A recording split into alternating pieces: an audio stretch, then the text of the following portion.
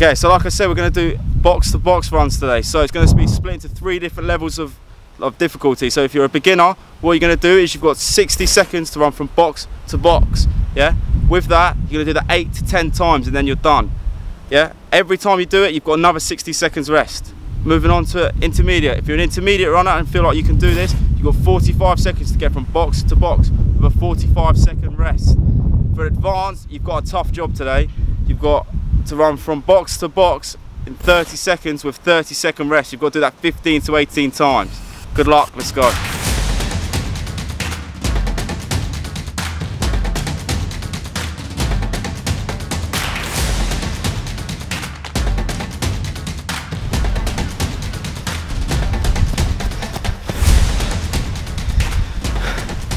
Tough stuff there guys.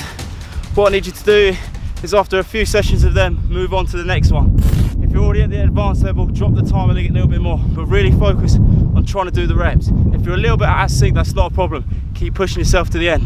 Now, it's especially important that we warm down. I'll see you there.